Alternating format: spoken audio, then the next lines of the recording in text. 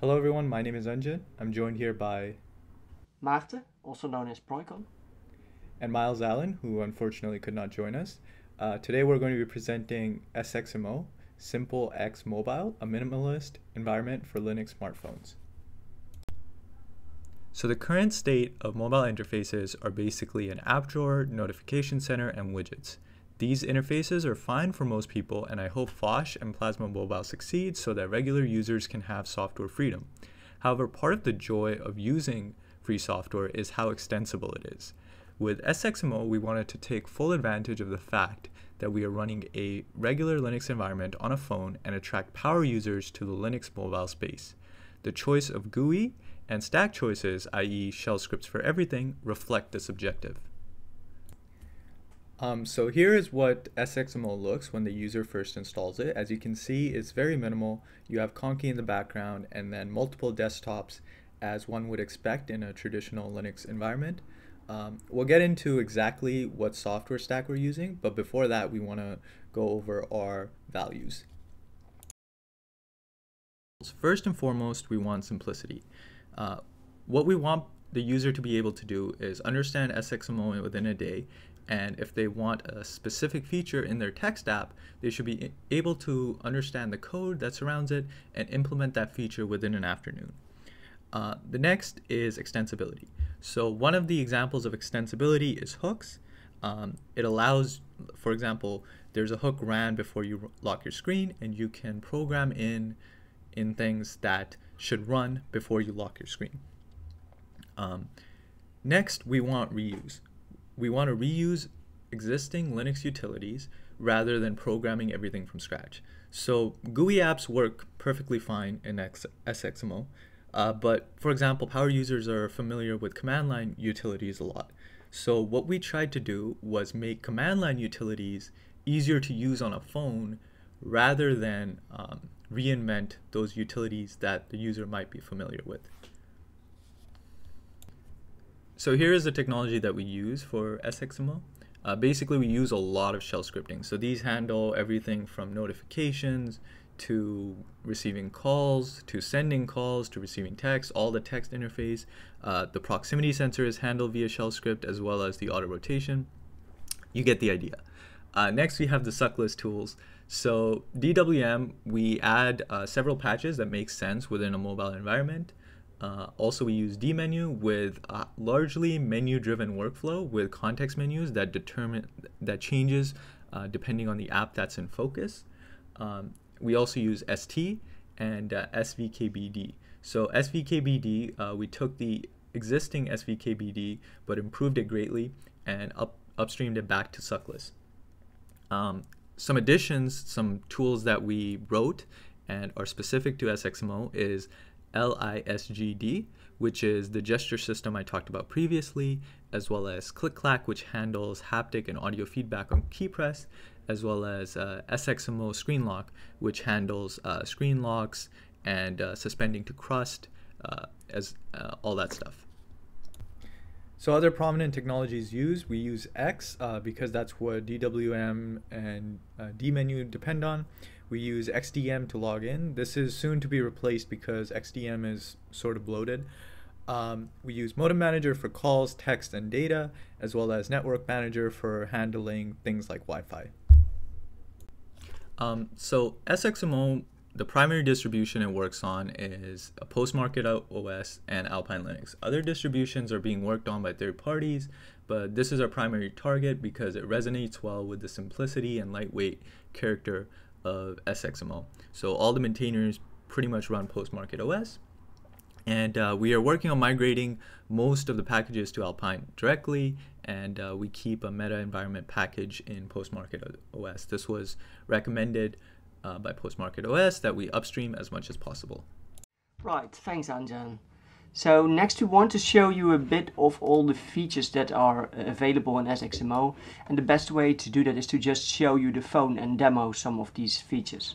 So we will go through a few, the context menus we have, our gesture system, the virtual keyboard, of course calling and texting which is essential functionality for a phone.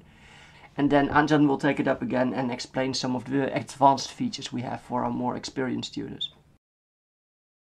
SXMO is primarily controlled through menus. You can press the volume up button to open the menu wherever you are and you will usually get a context dependent menu depending on the application you're in. You can navigate this menu using the hardware buttons, so pressing volume up and volume down will navigate up and down in the menu. You can use the power button to confirm a choice in the menu. This usage of hardware buttons is optional because you can of course also just simply use the touch functionality to select items in the menu and to navigate them. We are using dmenu to power the menu and we have implemented extra functionality to enable all the touch functions. And coming back to the issue of the hardware buttons for a second, you'll notice that these hardware buttons do something different on SXMO than you're used to from other uh, smartphones and other operating systems. Next we'd like to introduce the gesture system. The following schematic shows the gesture system and there are all kinds of gestures that you can use to, uh, to affect the environment.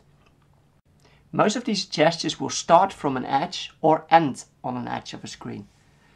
So that means that the center of the screen is usually free for the application itself to interpret in case it wants to interpret their own gestures, such as for example Firefox. But even when you have an application that is not gesture aware, such as basic terminal applications, then our gesture system allows you to, to even navigate those uh, to a certain extent.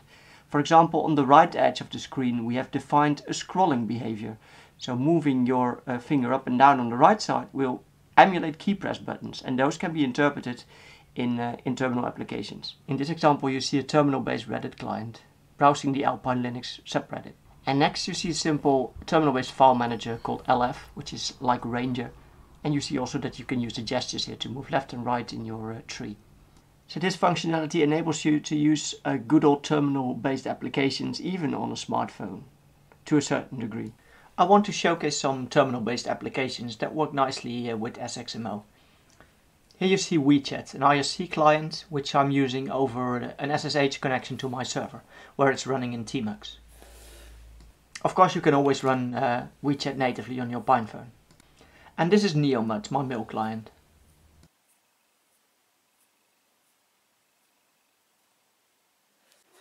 Back to the desktop we have gestures uh, on our left side, on the left edge for, uh, for controlling the volume and on the top edge of the screen for controlling the brightness of the screen.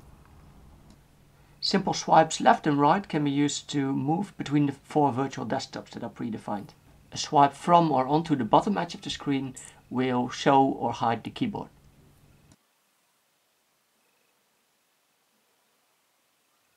And closing a window can be done with a two finger swipe down to the bottom edge, or alternatively by a long press down on the hardware volume down button. We also have gestures that start from corners, such as a movement from the bottom left corner that can be used to lock the phone. And a triple press on the power button can wake it again. So SVKBD is our virtual keyboard from Suckless originally and we heavily extended and, and improved upon it. That was a pretty full keyboard experience by default, having a shift key, an control key, an alt key, escape key. And we use haptic or audio feedback through ClickClack, which is an external tool, it's not part of the keyboard itself. We typically use either the power button or the gesture to show and hide the keyboard. And here's another good example of a context menu with a, with a shortcut option for the daunting task of quitting and saving Vim even with our virtual keyboard that would be a bit of a hassle. If you do a long press on a key, an overlay is likely to pop up that offers extra input options. This is used for extra punctuation and for things like diacritics. The keyboard also consists of multiple layers you can switch between. There are dedicated layers with things like arrows or a dialer. Uh, and there's also a Cyrillic keyboard integrated. If you want to make your own layout, then this is pretty simple by editing the source code. You'd almost forget that this is not your average Linux computer, but that this is in fact a phone. So we're going to demonstrate calling and texting now.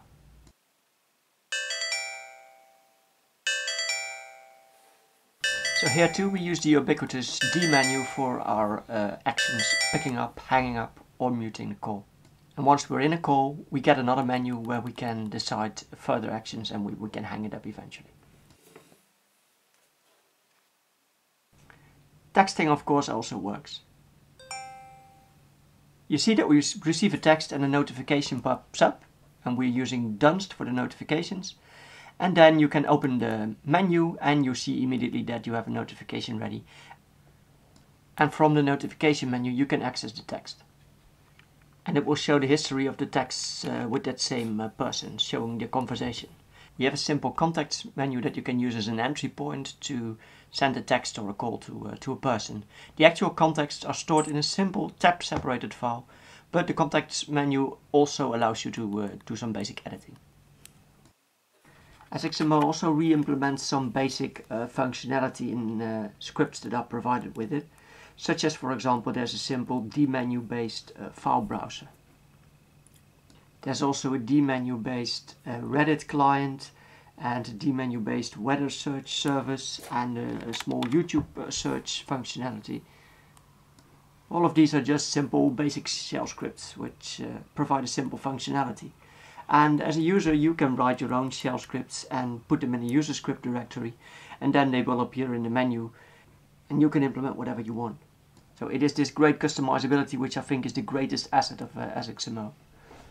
And Anjan will talk a bit further about some of this, uh, these advanced functions. So I've always hated when my phone rings. I want to be notified, but I don't want it to, you know, take all of my attention. So this is my favorite feature, which is basically hooks. Uh, SXMO has hooks, which are user scripts that are ran when the phone is locked, unlocked, receives a text call, etc. Uh, so most people, they just tell MPV to play a ringtone sound. Uh, but in my SMS hook, I simply forward the SMS to my XMPP account using a standard Linux command line tool developed by the Debian project called Go Send XMPP, and I don't need to babysit my phone. Uh, I also uh, programmed the user script to send me a message when I receive a call. So, and if I may break in here, uh, I, I actually do something similar with my uh, ISE notifications, for example. We see here a little uh, demonstration where I just received a notification from Anjan whilst I was innocently browsing the Alpine uh, Linux uh, Reddit and then you see the pop-up appear. And this what I implemented here is the other way around because the ISE client runs on my server and the server sends a message to my phone and the phone picks it up with uh, a kind of hook and uh, shows me the notification of the message I, I got. I do actually something similar with my doorbell that, that also rings on my phone if the doorbell goes. So this is just to show the great customizability you have if you own your own uh, system. So this is another lively part of SXMO, which is theming and configuration. Um, this is openly supported. We support X resources as well as uh, uh, customizing your XInit RC via that uh, hook. And uh, of course, environment variables are supported. Like the way you customize X SXMO is via environment variables. Uh, but here are a couple of themes that um, we have in our project, and you can easily install these uh, by just changing the X resources file and editing your XInit. So this is my favorite feature. SSH on SXMO is a first-class citizen. So you are able to read and send SMS, read your notifications, access Bluetooth, pretty much anything you would want to do on your phone remotely. Um, and instead of dmenu, you get vismenu. So if you've ever used the command line utility fzf, uh, vismenu is basically a suckless version of fzf. So a couple of frequently asked questions, is a daily driver ready? And of course that depends on your use case. I personally am using uh, it as a daily driver and a lot of the maintainers are. I asked this on the mailing list and a lot of users wrote in with their experience trying to daily drive SXMO and the PinePhone. Uh, you can read their experience by searching daily driver on uh, SXMO Devel mailing list. Uh, so how suckless is SXMO? So Suckless has their own philosophy. Uh, we do use the Suckless stack, so DWM, ST, Surf, etc. But patch those programs by default to include features that we think are necessary on a phone, such as the swallow patch in, in DWM, and enable sane defaults, such as touch support for Firefox. We also add configuration like X resources, uh, support to most Suckless tools. So overall, this is not very suckless. Uh, you can think of SXMO as a distribution of suckless tools for touch devices. We try to prevent feature creep, but our definition of feature creep is different than upstream. Also, we have a lot of documentation and try to keep it up to date. So support for other devices is sort of a work in progress. Uh, a lot of stuff works out of the box, but making scripts more device independent is much appreciated. Uh, this is one of the reasons I'm happy with choosing Postmarket OS. There is a com community of Postmarket OS users that want to port SXMO to other phones, such as we've gotten uh, patches for Librem 5 and Nexus 5.